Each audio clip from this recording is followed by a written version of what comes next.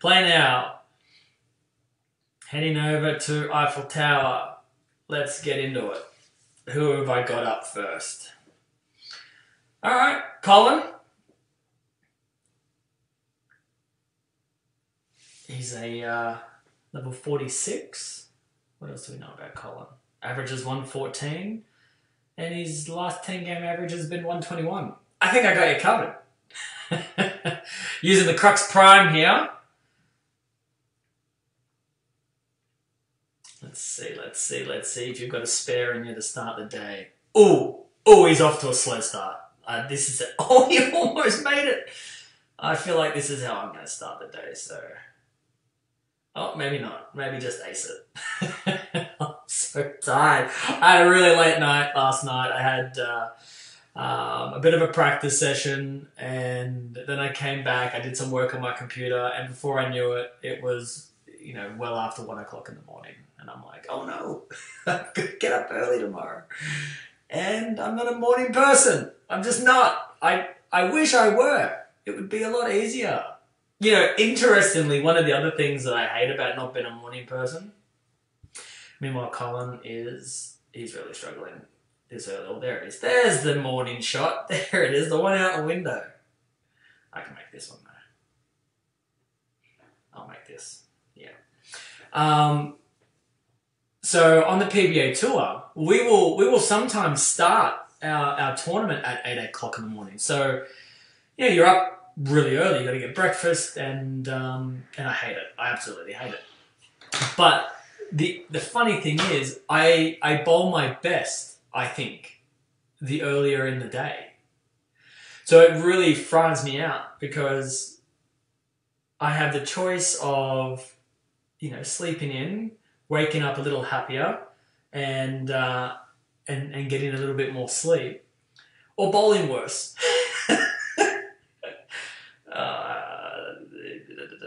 Maybe. Hook a lot. Ball. I'm using the Axiom because, well, we're playing a, you know, four day Axiom Super Challenge. But in real life, I would probably use it too. It is an amazing ball. Such a great ball. Really, really controlled.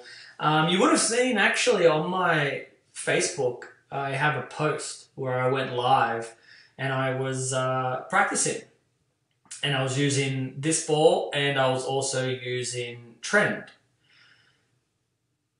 And you could see exactly what I was talking about, that smooth rolling shape. I probably need to move here in a second. Oh! Daddy spare, daddy spare. Mark it with a line across. I'm going to try and get right from the top of the screen. And we mark it across. And then we colour it in color it in because that's a spare. And he's probably thinking that was my chance to get back into the game. Nope. Colin's really, really hurting here. Colin, uh, move and change ball and do something and make your spares. There you go. That's my advice to Colin today. Well, I'm going to move too because the last one, oh, that's a bad shot. Hold, hold. Oh, okay, okay, okay. I can take a nine spare. I can take a nine spare. No problem. No problem at all.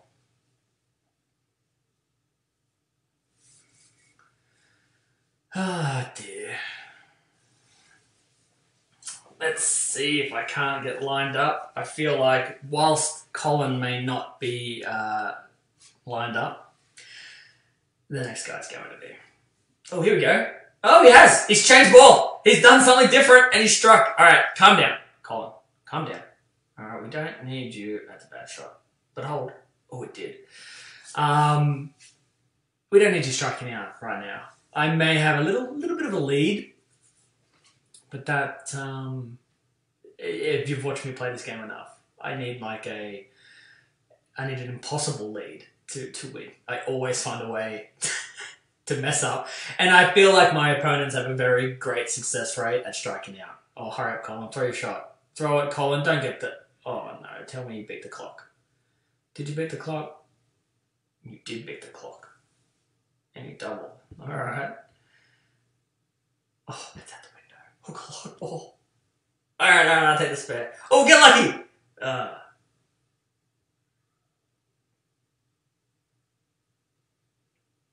Alright, we'll make the spare. It's okay.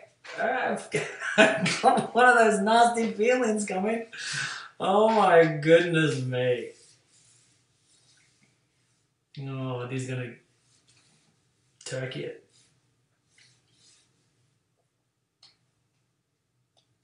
He did too. I'm gonna lose. I'm gonna lose. Oh, that's no shot.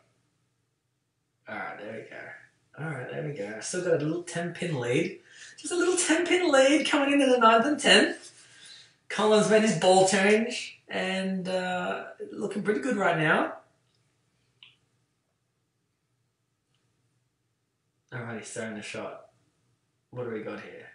Oh, it's a six split. Oh, oh, he got it right. Oh, he got it right. Just didn't quite hook up. The old Hy-Road Nano didn't have enough in the in the engine to wheel back. Good little rally back. Oh, we almost made it.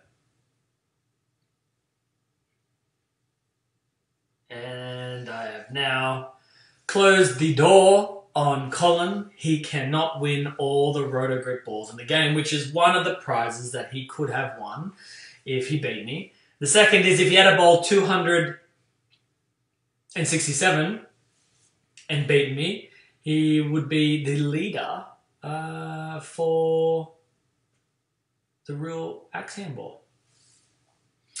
So while Jeff is finishing that off and I'm going to start the next game, I'm going to go through some of the comments and say hi to you guys. See if you've got some questions, maybe I can answer them for you.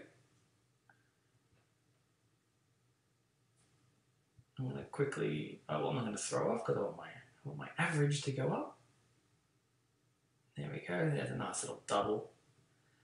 And let's just go a little more and get that that finish off with the all three. The 10, 213 to 151. All right, I'm 1 and 0. Let's go. Let's do it.